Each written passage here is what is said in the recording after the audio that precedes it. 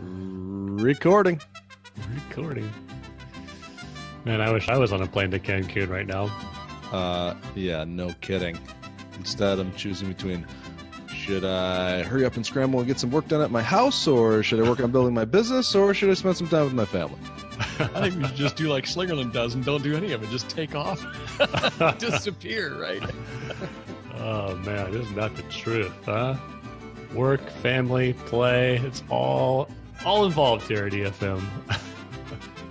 Somehow, there isn't enough time for all of it. So how do you choose what you need to do? Good question. I I want to know the answer, Niemeyer. So I hope you have some words of wisdom for me today. Oh boy. Well, hey. Welcome back to another episode of the Entrepreneurial Family Man podcast. I'm Chris Niemeyer here with my good friends Michael McGreevy and Christopher McCluskey. Jamie Slingerland, we miss you. Tough that you have to be on a plane to Cancun with your family, but somebody's got to do it. So why not you, right? Uh, I don't think he's dude. probably missing us very much right now. Not at all. But you are here in spirit, my friend. And we're just four guys who are crazy about our wives, we love our kids, and we want to kill it in business.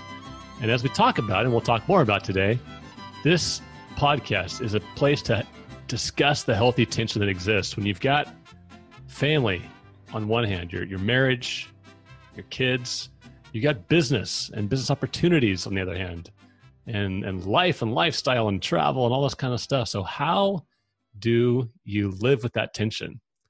how do you navigate in certain seasons, certain chapters of your life, what needs to take priority, maybe for a short term time period to really address, okay, this is what's happening, honey, in our household. Here's what's happening in my business. And, uh, and so let's just talk about that, guys, because this is a, a sticky subject where, let's be frank, if we are living this lifestyle, there's going to be this tension because we want to do well in all these areas. So, how do you balance that? Michael, talk to us about why we're even discussing this topic, uh, some real life examples that are going on in our own households. well, it's because I have a problem. this is uh, raising my hand too. Yes, this is on me. I have too much going on in my life, and this didn't happen to me. I chose to have too much going on in my life, and I didn't uh, put guardrails on that. And so now I've, I often find myself in a position where I'm torn between spending time with my family, between getting another project done, which I add into the mix, and just keeping life afloat in general. So this hit me pretty hard just this past weekend because I had plans to get a bunch of work done on this house that I'm working on and trying to get ready for my family. And uh, then you know I look over at Lydia and the kids, and I know they've been together all week as I've been working on building my business, and and uh, I'm like, oh, why don't you come out to the house with me? We can bring uh, some snacks and set a little spot up for the kids, and they can have a good time, and then I can work downstairs, and it'll all be great. Like in my mind, right? It's all going to come together. foolish, foolish boy. McCluskey's no rookie. He knows what's going on here so anyway, I get out to this job site. We set it all up, and then as Lydia and I are just sitting with our kids on this blanket, I'm getting ready to go to work. We look at each other, and it was one of those moments where we just thought, "Wow, these are the memories that we're always going to cherish as as we look back on these years." And what a moment this is, sitting in our soon-to-be new house hanging out with the kids. They're eating snacks. We're all talking, walking around, checking out the place and it just hit me that I gotta choose between either hanging out with my family right now and being present, or getting some work done, and I'm just not gonna be able to get work done right now. And so, fortunately, I was able to choose my family in that scenario, but it's not always the clear choice. Am I coming across crazy? okay. what are you talking about, McGreevy? You're completely off your looking rocker. At the chat feature. Cut. anyway, so that's I mean that's there's times when we have to choose work as a means to take care of our family. And Chris, you were talking about earlier, Niemeyer, about kind of similar situation, but where it required a different response. Yeah, man, it's it's funny. Michael, you and I are like in tandem right now going on these adventures with our family and some real estate stuff and big remodel projects. Uh, in fact, literally, we're kind of coinciding. I mean, I'm, I'm, calling a drywall guy the same week you're calling a drywall guy. I'm calling a, a insulation guy the same week your insulation guy's finishing up. So it's kind of funny, but yeah, we you know we bought a property um, that we were really excited about, and it's it's going to take uh, a lot of effort, and it's been taking a lot of effort the last few months. I'm I'm general contracting it, owner builder myself, lining up a ton of uh, subs to do the work, and uh, and it's 40 minutes away each way, sometimes 45 minutes to to get there and back. Well, these last few weeks, I have been there just about every other day, if not daily. Sometimes, sometimes we'll take the kids, and that can be a, a little bit of a hassle when uh, you know they're they're trying to get their schoolwork done and you know running over landmines of nails and everything else that's that's around there. And so we're toward the end mean, this is kind of like 11th hour this this past weekend and week. Well alicia homeschools our kids they're going through you know a history of kind of the colonial time period and presidents and there's this uh, this homeschool kind of a few homeschool days up in the virginia area uh, that happens this week and in the fall. We are planning to go in the fall but we just have realized you know there's just a, there's enough tension and enough time that daddy needs to spend to finish this house project over these next few days with all the appointments we have lined up. She just came and said you know what? Maybe it's better that i just take the kids. We go up to virginia. My wife is a seven. She loves road trips. She loves experiences and travel and all that kind of stuff. So for her it's like no problem. I'll drive 12 hours with four kids. Uh, that's just how she rolls. I, I don't get it either but uh, love her for it. And so we just made a determination. You know what? I'm going to bring a sleeping bag and an air bed up to the house, and I'll be kind of working nonstop here for the next four or five days, peppering in quick quick stops over to Starbucks to grab on Wi-Fi and get some work done. Um, but it just made sense in this period of time where there are times you've got to choose what's best overall for for our family and this is a period where overall for our family on the outside it looks like well this is a work a work environment like you're choosing work over your family no for our family in this chapter there is going to be less tension of daddy having to come back and forth and burning the candle at both ends and you know maybe maybe losing my cool sometimes as a result of that to just say this is best for everyone involved.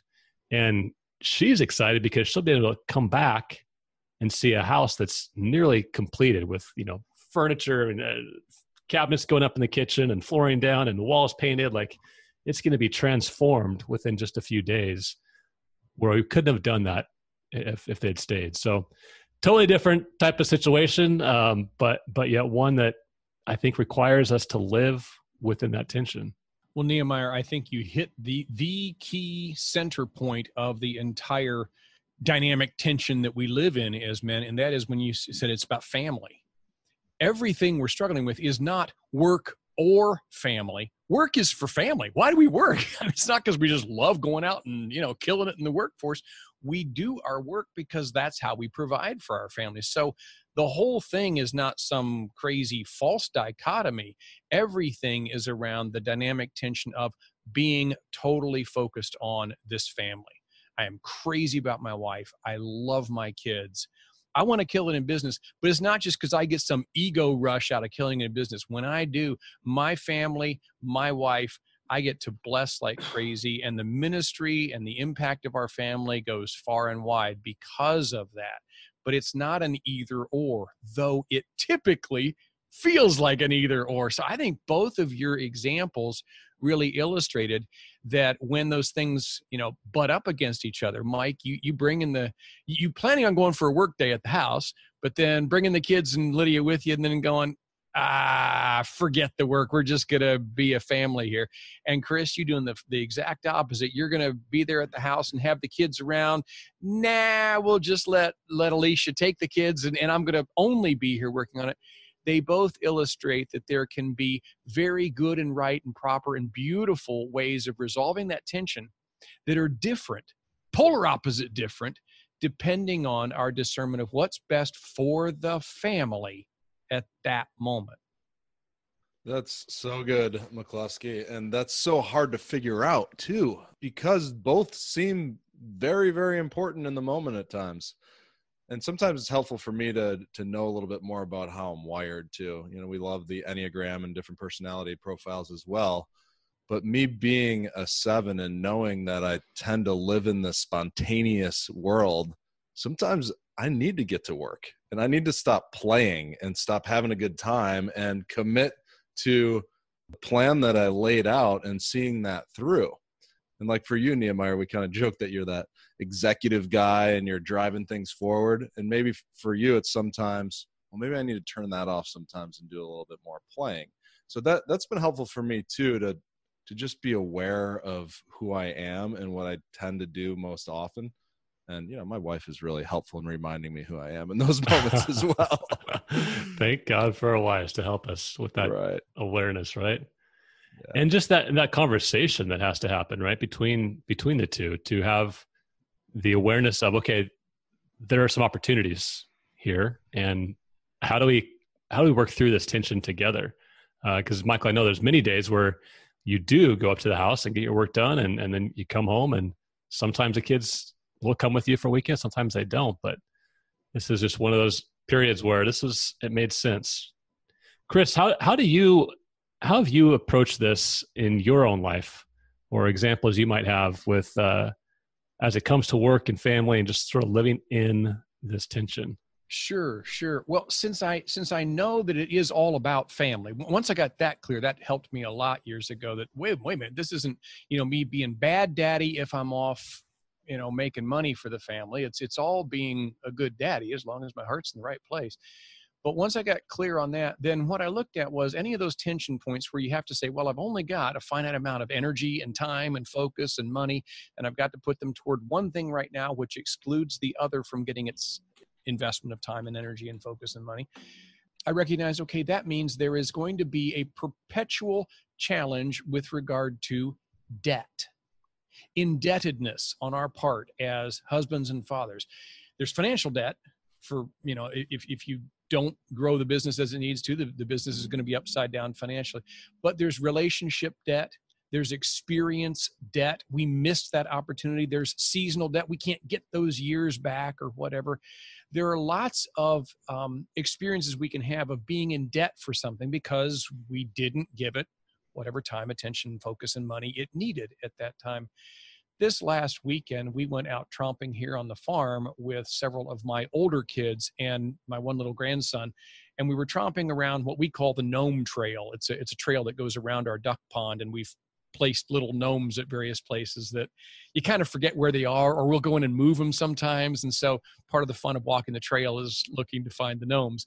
We were walking the gnome trail because when we moved here 20 plus years ago, my brother and I had all kinds of ideas of what we could do for that trail. And we had some really cool ideas like how we were going to set in some, we've got some flagstone that was saved from some of the foundations of some of the buildings around here. We were going to cut into one of the banks of the, the kind of a clay type uh, hillside and put some old looking stone steps going up that portion. Hmm. And then there's another place where it goes across a draw that, that, you know, when it rains, the water runs down into the pond. Uh, we were going to make a stone bridge across that, you know, and it was just going to be like, like uh, this old three Billy Groats gruff kind of a stone bridge or something. We just had all kinds of, well, none of those happened. The trail's there, although it's pretty overgrown, but none of the rest of that stuff happened. So I'm walking around there, I'm having a wonderful time playing with my family, but it's reminding me that, you know, 15 years ago or so, McCluskey, you had all kinds of ideas here. He even talked about them with the kids, and they didn't happen. Did I blow it as a dad? Well, I mean, listeners here know that that was during the dark years. That was when I was so sick. So a lot of the indebtedness that I had to accept during that time was the most important thing is keeping us on the farm keeping a roof over our heads you know at least tucking the kids into bed at night or reading them a story or some kind of a connection point. Like the the discernment the uh, evaluation of the finiteness of all of us whether you're sick or not we, we've only got so much energy and health and all um, says that sometimes you just have to accept that in a season you're not going to be able to balance this tension out. Some things are not going to get done and you can't go back in time and recapture them. It just didn't get done but I believe in taking that walk that I chose the proper places to put my focus. Tough as the debt was to live with, I chose the more important things of keeping us here on the farm and at least pouring into the kids. And what was really cool was as we were tromping around there and I'm listening to the conversations of my now, you know, upper 20s, knocking on 30 year old kids. And they're saying the same things about what we could do with this this little trail that we said 20 plus years ago. They're almost the age that I was back then. And I realized, you know, that means maybe it's not lost. Maybe it was just for another season, and maybe it'll be me coming alongside of my grown kids making something else happen. Wow. I love the juxtaposition there that you laid of the relational debt and the financial debt, and then just the visual of redeeming an idea years ago and bring it to this generation. Bring it to I'm just envisioning, and I know I know I'll see pictures of this on Facebook of you, you, your kids, and your grandkids working on this together. I mean, that's like a multi generational idea that you just had to press pause on for a while. I think so. Because, to your point, you chose family in that situation those many years ago. Now you're seeing the, the benefit and the fruit of that growing family, and they get to rally around this idea that you had those those many years ago. So I love that. It's beautiful.